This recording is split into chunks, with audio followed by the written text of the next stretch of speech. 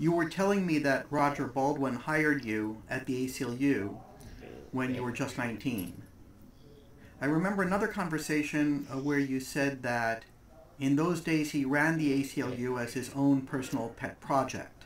Well, after he had been there just a very short time at, with me as his secretary, he came into my uh, office, which was not my office, it was me and three other girls into a space about this big. And uh, he said, I'm starting tomorrow on my yearly trip around the country to see how the various people who are interested in civil liberties um, are doing. And he soon made it clear that he did not like the idea of anybody but him doing anything organized about civil liberties. He wanted to be the big cheese, and he didn't want to have the idea of a state affiliate, which is what was later developed, was poison to him because he knew quite rightly he was no stup there was no stupido that once you had a state affiliate and you had secretaries and you had typists to get them all together, that that the person in that state who was supposed to be the head of that state was nowhere, and uh, which is exactly what happened.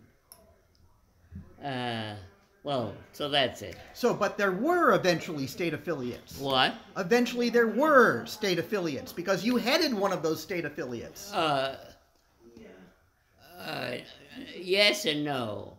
There were a couple of places that were older than the ACLU itself. They formed themselves into an independent group. And they were very good, and they had secretaries, and they had they just didn't have any formal rec uh, recognition. But in those few places, they ran things because they knew how. Uh, and Roger was deathly afraid that people like that would take over the ACLU and take his value away, which is exactly what happened too. Uh, and uh, he was very unhappy about it.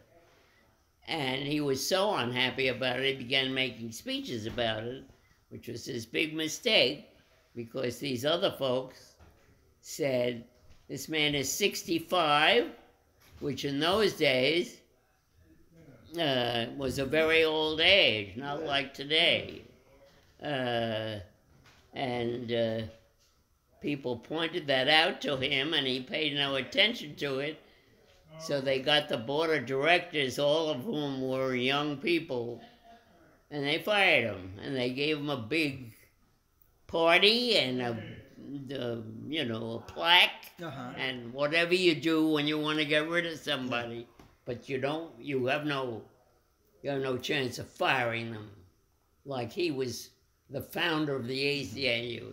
They would never fire him, but they did get him to retire they took away all of his privileges and mm-hmm. uh, opinions, and he uh, they told him they would give him a great big thing, uh, party. The press would be there, and uh, he finally got the point that he was being fired, which he was, and uh, that was the way it ended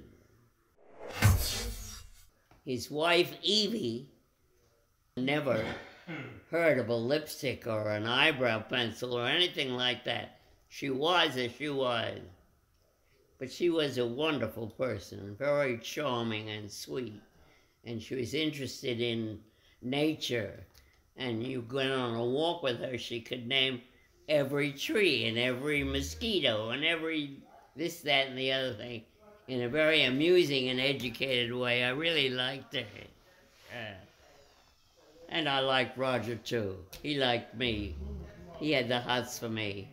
And uh, last time we had a meeting, uh, I said you were very suspect uh, in your attitude toward me, but uh, if you want me to, I'll get out a statement that you never laid a finger on me, even no matter what you wanted.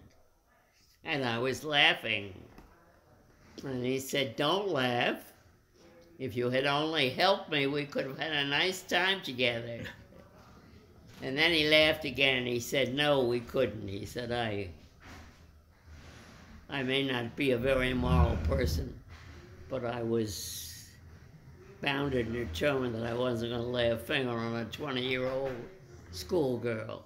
So I was relieved by that.